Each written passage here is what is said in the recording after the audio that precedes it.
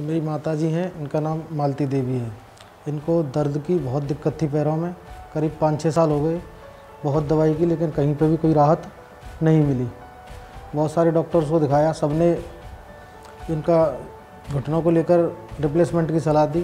At last हम यहाँ Agra doctor A के शर्मा जी इनके पास आए। इन्होंने हमें बताया कि पैरों में बहुत दिक्कत है जॉइंट रिप्लेसमेंट कराना पड़ेगा। तो हमने डॉक्टर साहब की सलाह पर इनको पाँच तारीख को यहाँ भर्ती कर दिया। उसके बाद छः तारीख को इनका ऑपरेशन हो गया। ऑपरेशन के बाद बिल्कुल सही हैं, स्वस्थ हैं, कोई दिक्कत नहीं है, पैर में बिल्कुल सही है। बहुत बढ़िया स्टाफ है एकदम फेमिलियर स्टाफ है, बहुत सही स्टाफ है। पेशेंट के साथ और पेशेंट के अटेंडेंस के साथ बहुत बढ़िया व्यवहार है।